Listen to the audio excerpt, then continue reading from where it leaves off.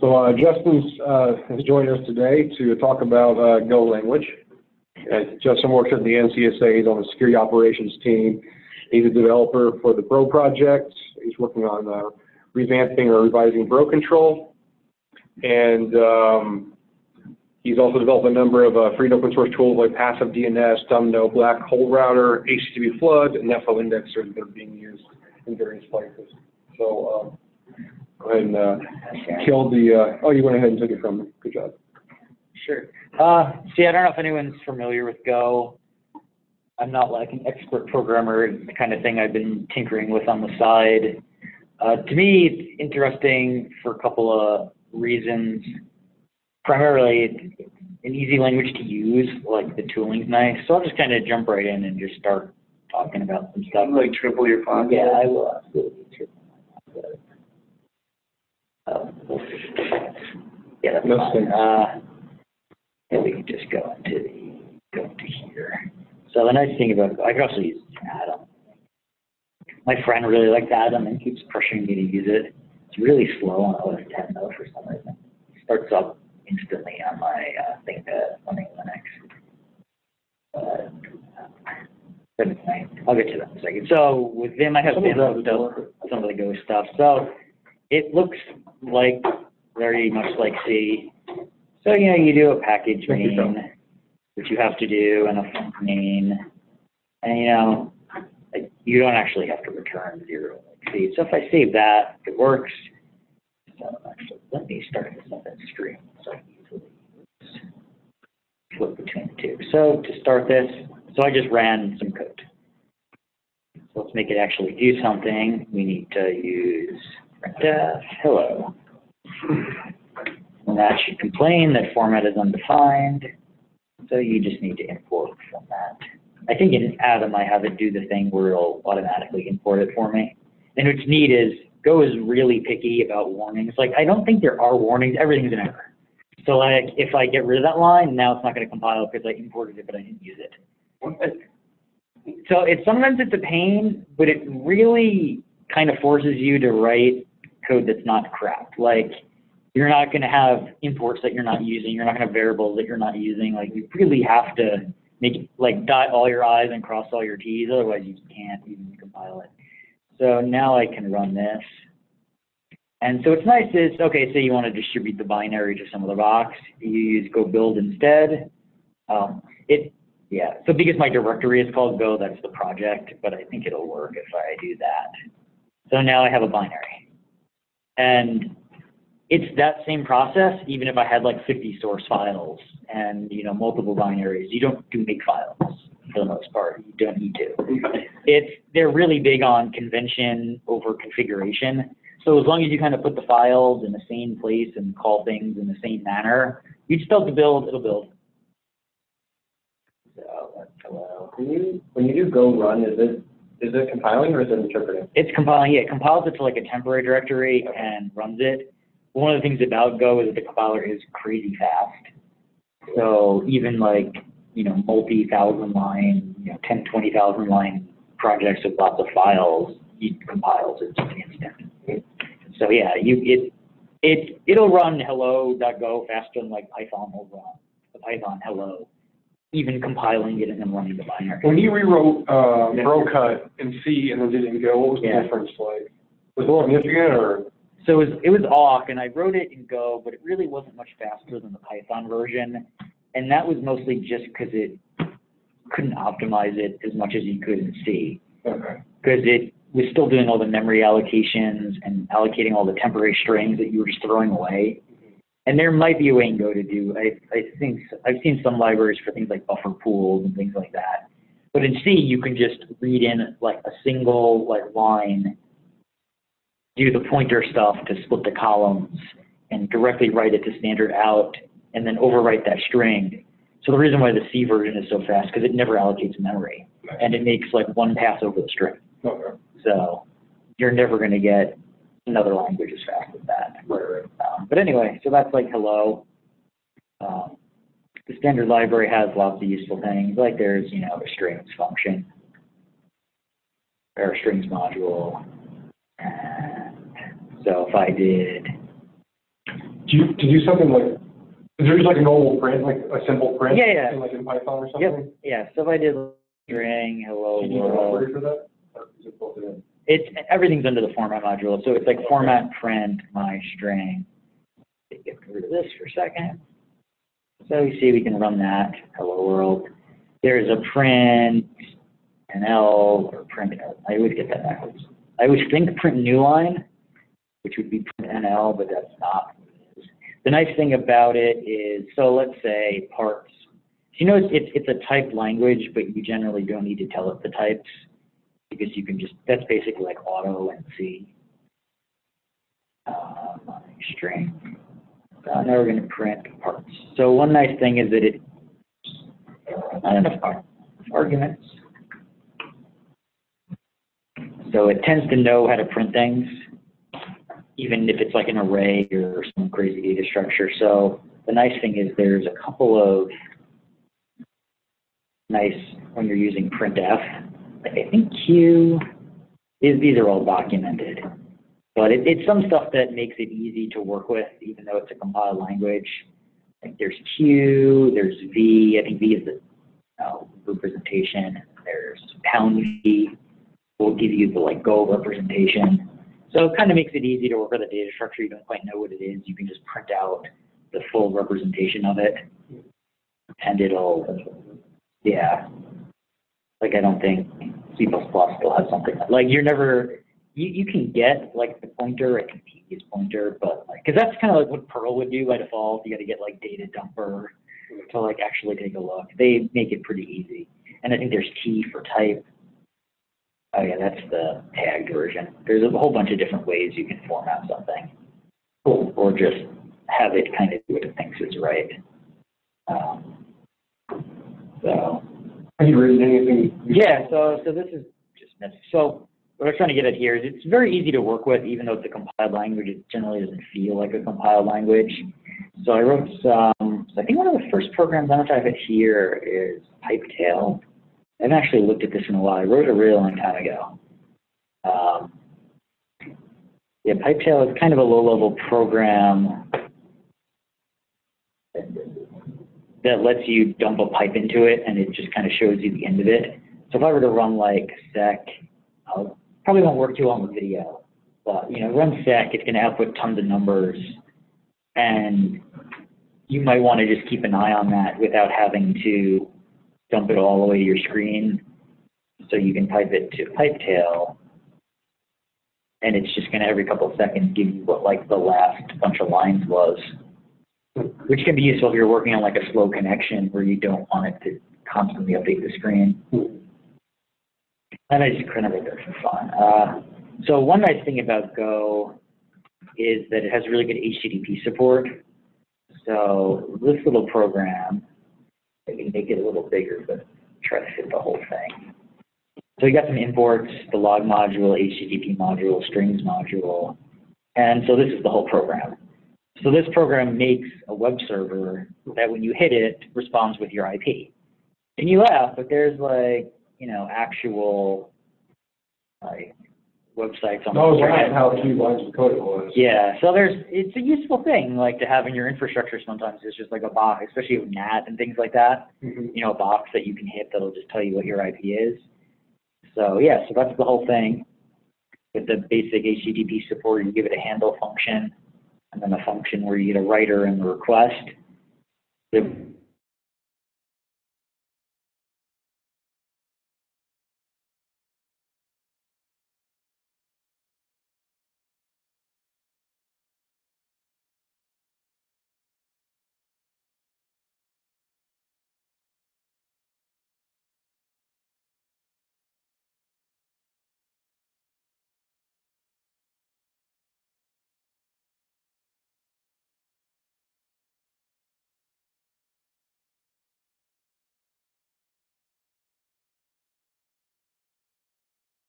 about as basic as you get. It's pretty much the hello world, but use something on the on the response. Rather, the one thing I wrote to play around a little further is trace route me, which kind of builds on that same difference, except trying to fit more here.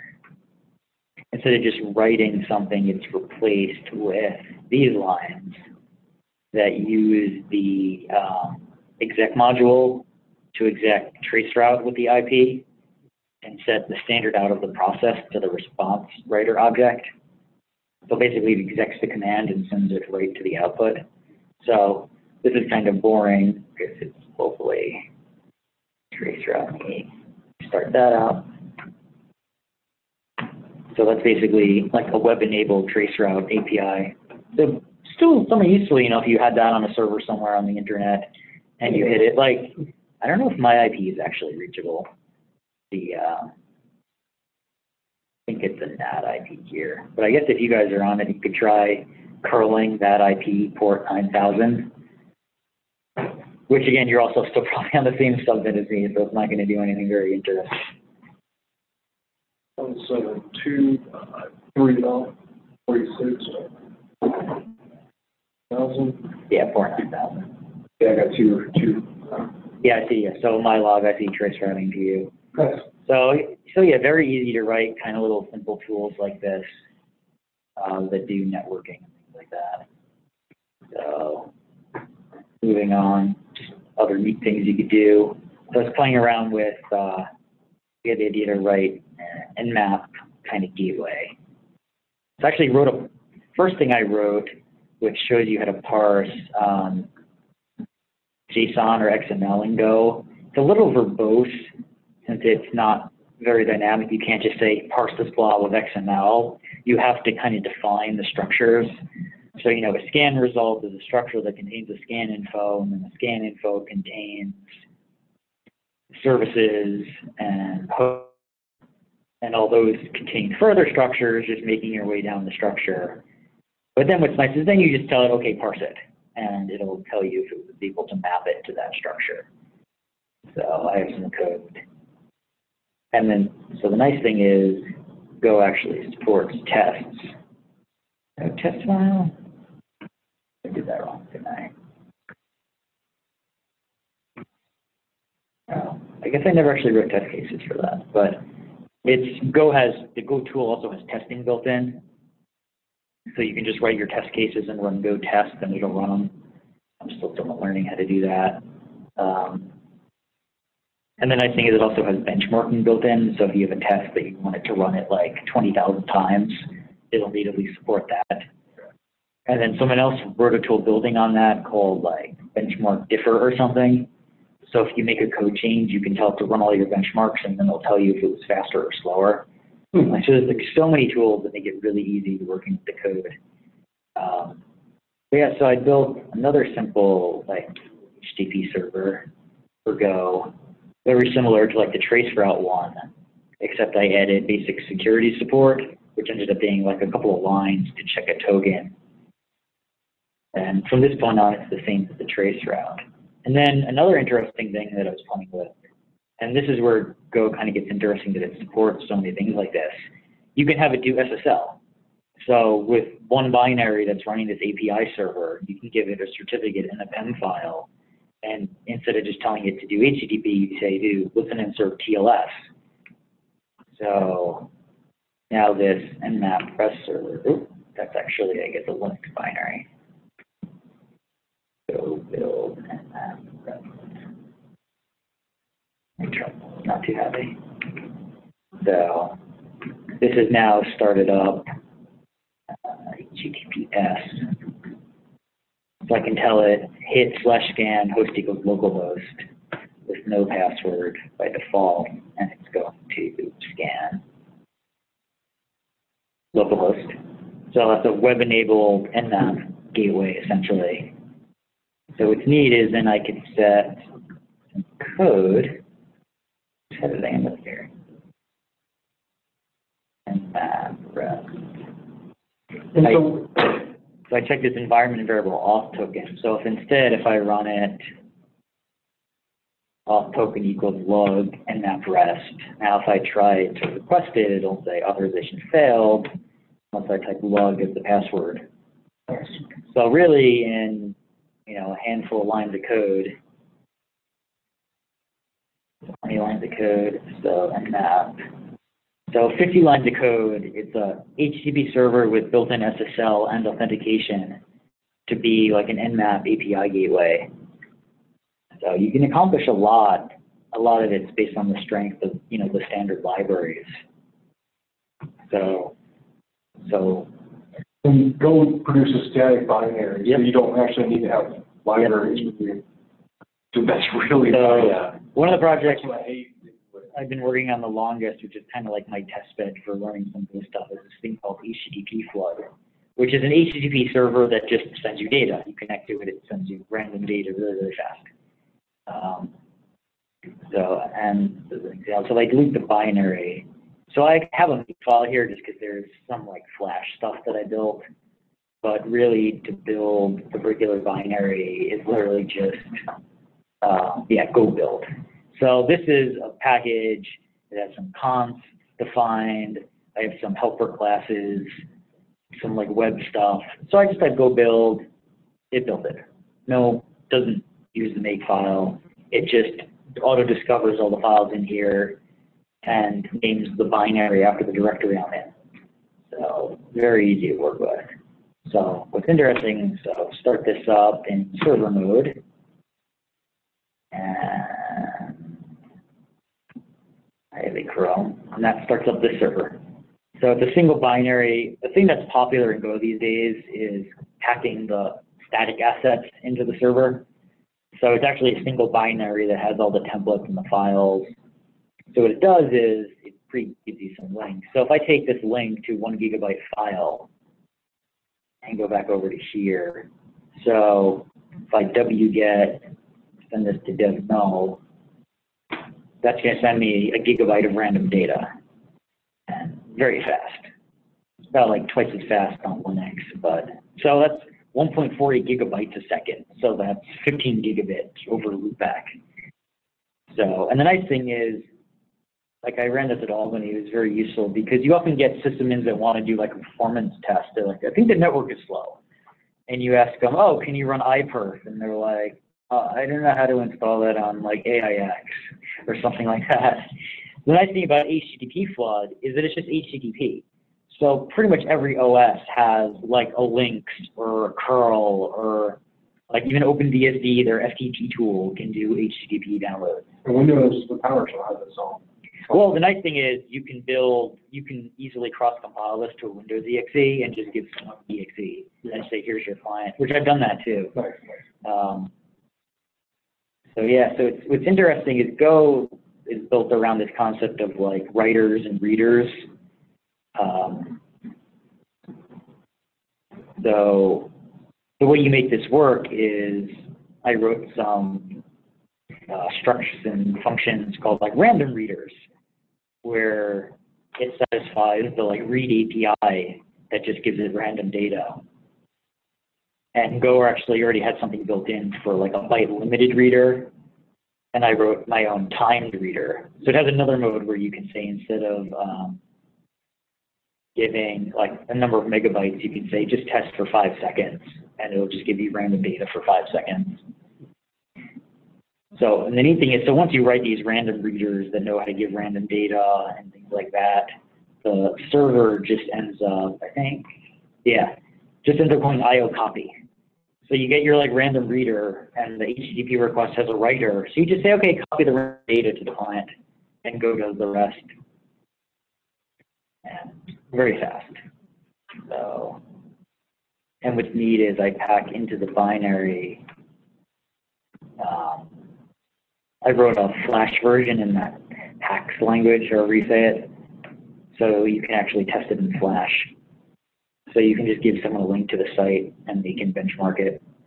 Like, actually, can you go to it? Like, you remember my IP from a couple minutes ago? I this. Yeah, just go to it in your browser, port 7070. You'll see if he connects, I should get a, uh, Yeah, see, this, on the Flash application, yeah, the start button.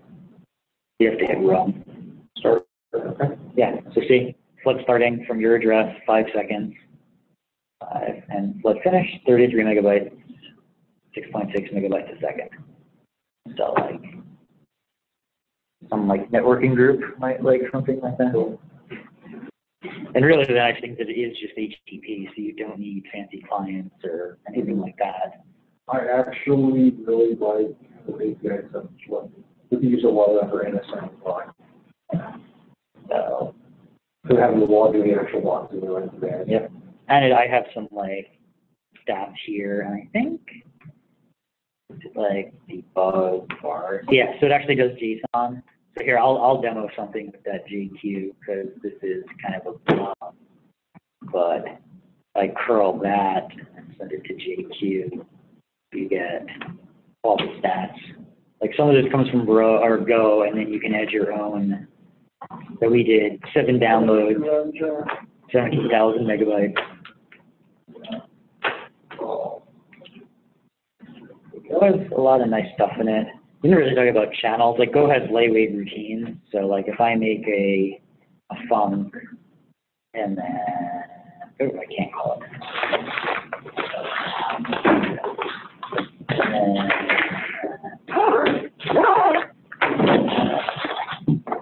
we're gonna say arg is a string. So we're gonna say You just. All right, see you later. we can say, delete all this stuff.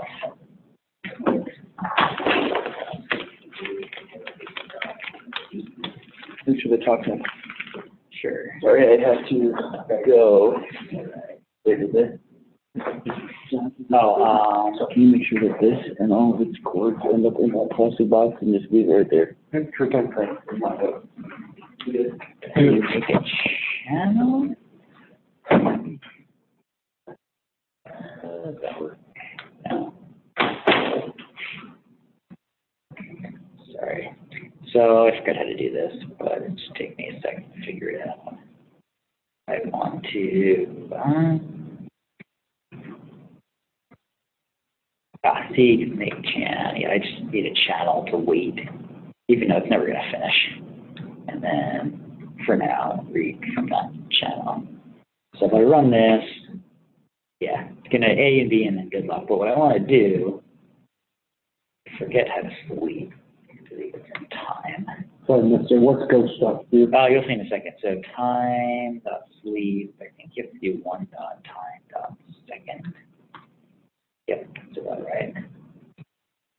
EB, so now we're just going to do a for loop, which when you do it like that is an infinite loop. So now you'll see I have basically two Go routines running, which are like threads.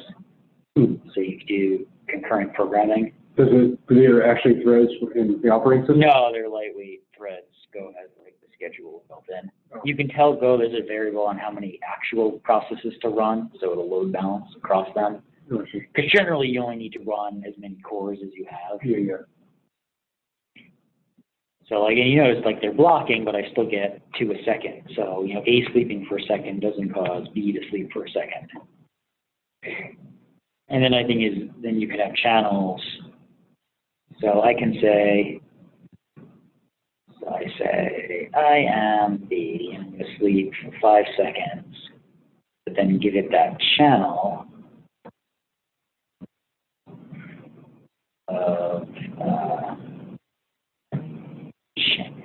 chan of string.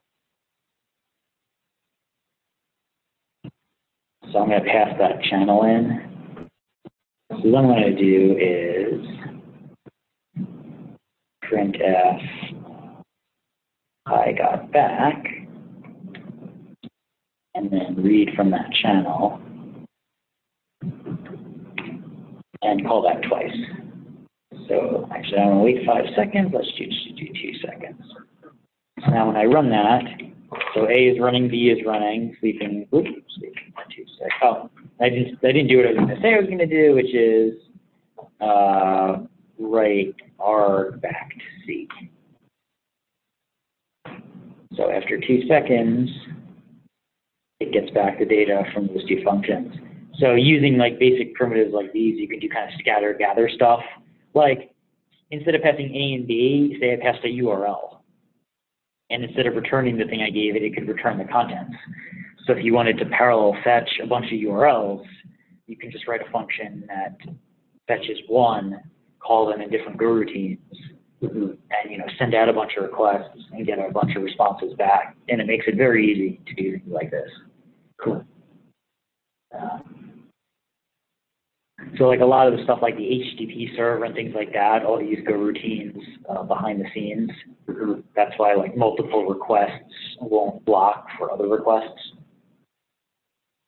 So, yeah, and generally it's a very nice language that's really easy to work with, especially with the tools. Like, I don't know if you've noticed, like, if I format this little wrong with a semicolon, you know, just make it just extremely ugly.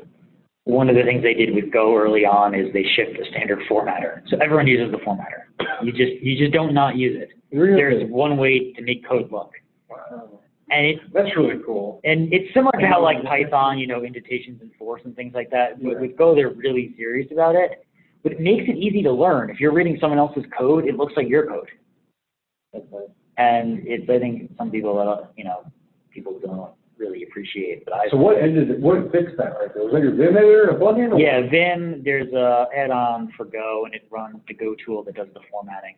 Is that run automatically then? when you- When I save, yeah. Yeah.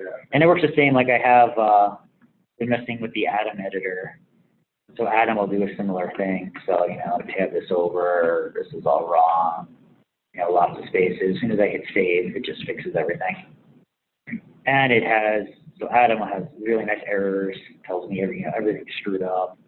If I send, you know, you know, a thing there that doesn't make sense, tells you, and it'll do auto completion, so it'll, it's, it knows all the different functions. So it makes it really easy. Auto completion in Vim for programs. Yeah, I have some things, not as much as the Atom package for Go does out of the box. It just makes it really easy just to work with the code. Well, like, and it'll do things, so like, if I, if I imported the string and don't use it, it just removes it. I'm not sure string, if it, if I have the thing enabled, it'll add it for me. Oh, no idea. So, see, I, I used the strings and it imported it, and if I delete that line, it'll remove it. So there's really, it's, Does that do that in Vim too? uh, I don't have it do that in Vim now. And one nice thing about Go is the way it's all built is, um, I don't know if any of my programs, oh yeah, uh, HTTP Flood does, I think. Maybe. Uh, Yeah, uh, the way you do like related imports is you use a URL, even if it's your project. So that's how all the Go tools like know how to pull down dependencies. It actually uses Git behind the scenes. And there's some issues with that with like versioning, but there's a bunch of solutions that are starting to mature. So like if someone else had a module that you wanted to use, you just import it, you give it the path, and you build your project, and it just does the rest. So it makes it really easy to work with other projects. Did you install from Brew? Or did you? Uh, like, yeah, I have like this checked out. This is one of Bitly's projects. So if I like open up one of their, that I guess doesn't depend on anything. This should, uh, okay.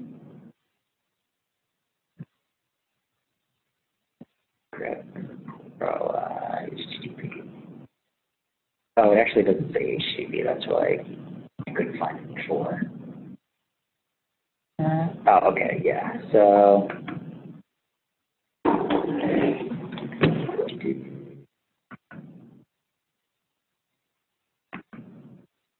Trying to find a good example. I guess they mostly, the Go standard library does have so many things in it that I guess they don't really even need to import much. Keep our power adapter? Yeah. So you can see here, they're, they're, uh, loading. loading, you know, other projects. Like, here's the big Go project, I'm pretty sure, uh, uh, it- we go go something individually. Uh, Oh, yeah, I did this wrong. You're not supposed to do it like I did. You're supposed to just, as long as, uh, go path is set, I would be able to do go get github.com slash bit.ly nsqnsqd.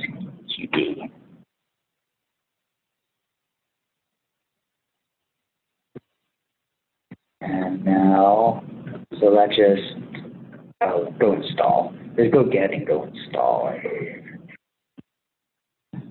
Go. Feed is, that did a lot of work, but I don't have the binary, which is confusing me.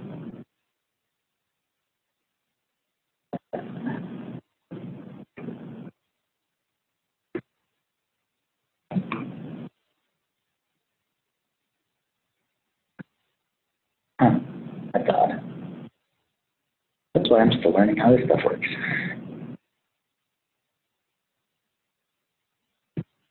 Yeah. I know it generally. Like I know like in my Go bin directly, so I have HTTP flood there. So if I delete that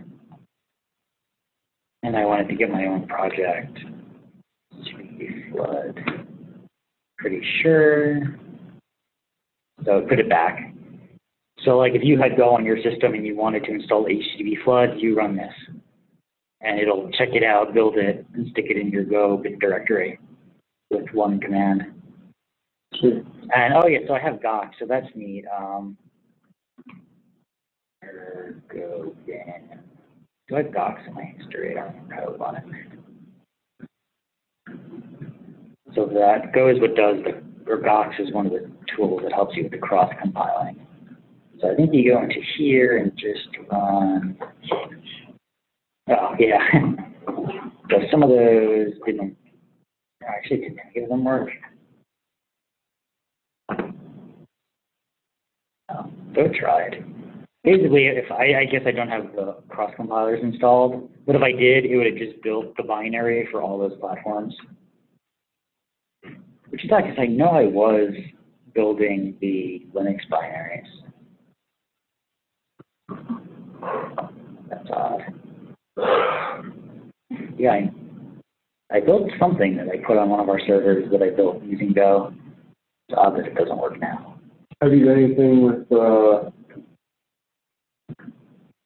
like how you, you know how you could just like query an API and like parse JSON data? Like, Oh, fairly straightforward. So, let, yeah, so, like GitHub or for something? sure, yeah, let's, for fun, write a program to do that. That's really what I'm trying to learn now. I might start doing with Go. I really like how you don't have to ground libraries. I mean. after Yeah, it's for deployment, For one, deployment, like, it's, it's clearly not like exactly, so, okay, so I've actually never done a, um, HTTP client, so let's learn how to do this. So Golang HTTP, there is an HTTP client, and the documentation is pretty good. So yeah, so this is what we need, right, to get something, right? Mhm. So we're gonna say uh, import, what do we gotta import? The net HTTP. Actually, we don't, because my thing will do it for me. So, main, oh, and don't forget package main. So you have a URL, remember how to get the URL for that thing you're using? GitHub API? Yeah, Just type GitHub API, or, well, you have the URL, um, that's a switch. Do I have issues? Uh, API.github.com. Oh, there's some, uh, Oh, so yeah. Here, why don't I just hit this? This is JSON, right? Or I guess that's kind of boring. So issues URL. How did you get your issues? um, here, uh, it's, uh, it's, uh, that. Slash repo slash John Shiv slash pilot slash issues. John. Shit. Pilot slash issues. And then these pass the parameter state equals all for all of, I don't know what you want to do there. I don't know what else it takes. Maybe closed and open probably. That work. All right. Uh, you spelled your name. J O N S T H S E T. Oh yeah, you don't have an H. No H for you. And the funny thing is, there actually is probably, if I searched for GitHub Golang uh, API, yeah, Go GitHub, library for accessing the GitHub API. So let's use that. Am I still? Oh, I'm still sharing. So, so all I need to do is import it. Don't need to download it. in. Oh, and I can't do that because it'll go away. So I need to use it first. So, Hey, thanks a lot, Chris. See you. Oh, yeah. Steve Brian, thanks for coming. Yeah. Now I'm using it. So new client, let's see how they get issues. Is there documentation? Uh, documentation, Go doc reference. Uh, GitHub. So that's how you make a client. We don't need to authenticate. So let's search for issues. Issues service. Wow, this is a pretty comprehensive. Yeah, it looks very, yeah, this supports. Let's do something for listing repositories because that should be a little easier. Oh, list all the issues for the specified repository. Owner string, repo string, okay. Oh, but I need an issue service. So how do you get an issue service? Go back up to the top.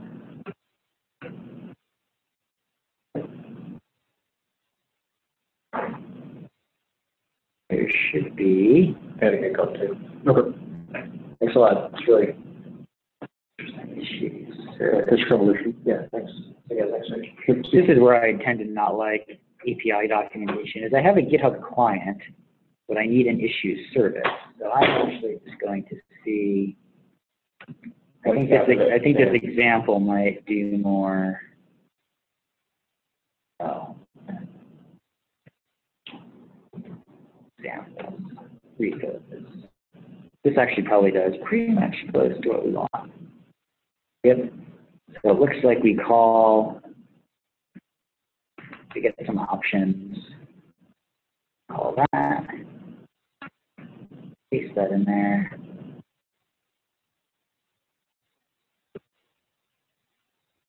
Then what you tend to do is if error is not equal nil, uh, adding error, kind of like that.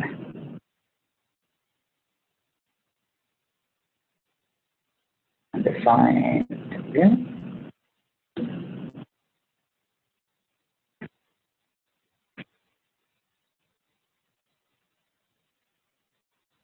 Oh, it's not panic, it's fatal.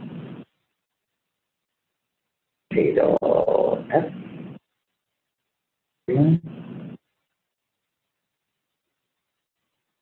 Oh, I'm thinking of log. The log module is very similar, but has a lot of nice features. So you could say log fatal error. So.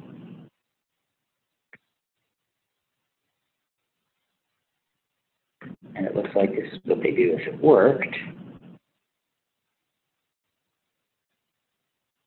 All right, pretty much their example, but change a little. We'll use your name, John Ship. So now, oops,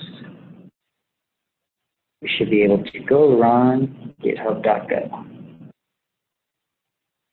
There's all your repositories. And probably JSON, yeah. I think so, yeah, I bit to JQ. Oops, I think it didn't start with. That's just a very, very large blob. But we should be able to do, so.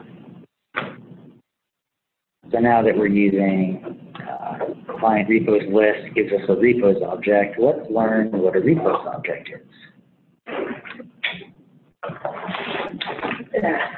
I'm afraid it's getting quite late for me as well. So it's interesting seeing how Go looks and runs. So thank you for your, Yeah, I, I'm not the best person to really talk about it. I just like it. It's it's nice to work with. You know, you don't really spend too much time fighting, you know, the compiler or fighting, dealing with error messages. It's pretty clear about what it wants you to do. idea is it's easy to work with and unlike Python, it runs fast. Fast-ish, yeah. I mean, I, when I was trying to write something to do like some file and string handling pretty fast, like Python with PyPy ran quite a bit faster. It used a ton more memory, but Go was fairly fast. I mean, the other nice thing is, yeah, it compiles tiny little static binaries that you just throw on the server and run. So, You know what, uh, Python works with PyPy? probably not. I know there's a lot of issues like that.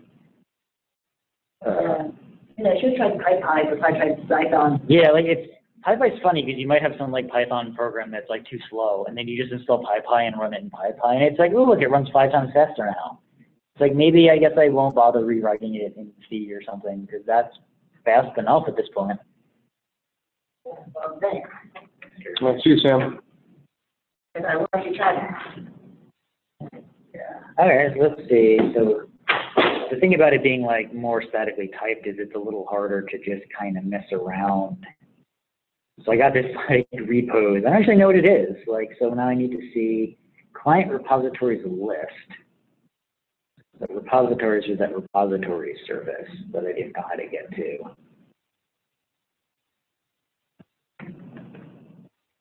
Uh, repository. We want area repository. Come on, so great about navigating your documentation either. Okay, repository service, we called list, and that returned, okay, it just returned a list of repositories. So there should be type repository. Piece of dealing with this then. Type repository. That at the top? Type repository. Right, okay, wow, okay, type repository. So that's all the fun stuff that's in it. So all we need to do to output something a little nicer is instead of that, do for, we don't care, the repository, Don't care. yeah, of the underscore. Uh, that would be the index, but we're not going to use the index. So we just want the R in the range of repos. So now we should be able to kind of do the same thing. Print ln of R. So basically, just factor out that loop. So we should basically just be kind of one step away from working nicely with that. Uh, with that list of repositories. Yep. So now it's one per line. So now let's just say we want to output the capital name and let's say description, which might even autocomplete. Oops. Yeah, so R and R name, R dot description. One. Go back to where I was. So now we run that, and that should kind of do something useful. Ooh, that's not right at all. Address Yeah, oh, yep, because I used the wrong print function. We want print f.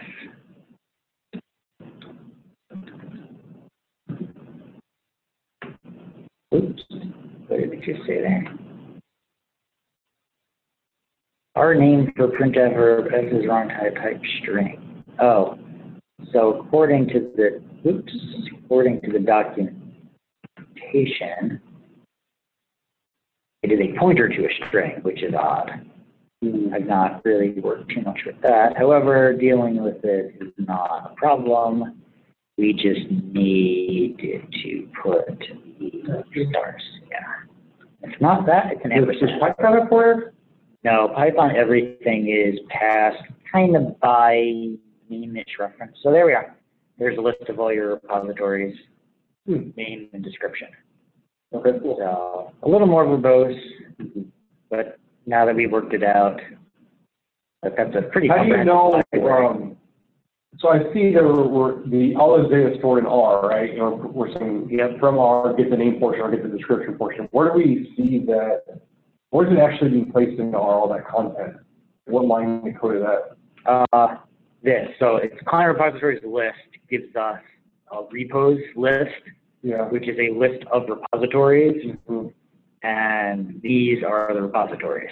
ID, owner name, full name, description, homepage, created at, pushed at, all these fields. But when does it come, to become R? Because I just call. Oh, that's here, for, normally this is index, we're not using it, are in the range of repos. So like in, in Oh. Python, it's very similar, it would be for R in repos. Yeah, yeah, yeah. So it's basically the same thing, Except they use colon equal sign for that? yeah. Oh, that makes sense. And if we wanted to print out like what repository number it was for whatever reason, we could say I and then print out D I. I keep hitting tab and it never takes me to the right place. So now every repository state will have the number. Hmm. So that's, so the thing is if you don't use it, see watch what happens. If you don't use the I, when you put it back the way it was, we're gonna get an error that or will we? Thought we would. I guess we won't. Oh yeah, I declared it not used. That's right. So that's why you do the underscore, which means there's a variable there, I'm just not gonna use it. Otherwise it'll complain. I got to wrap it up now, it's all. Sure. Yeah, thanks for doing all that. This is actually pretty cool. Yeah. I just had to debate whether which language I want to use now, or Python. I, I would do it Python. I mean, it's, Go is gonna be a bit frustrating because you have to be so precise. Python, like, because, like, watch this. You know, uh. So we had I think digging with Python library. Like, so here, watch this. So this is your, your URL, right? So we can import requests, Max. request, no, request get URL JSON. So that's your data. So now we have, uh, oh, that's a method now. So that's your data. We can pretty print it. Say, so, Hmm. can't remember. So now you can see your same structure. So you wanted your, your issues, right? So this is a list of issues, right? You know, want a title, essentially, just, just to get the one. Oh, so it's a list. So for i in data print i. So you said, Yeah, that field is called yeah, see? So two lines of code. Uh,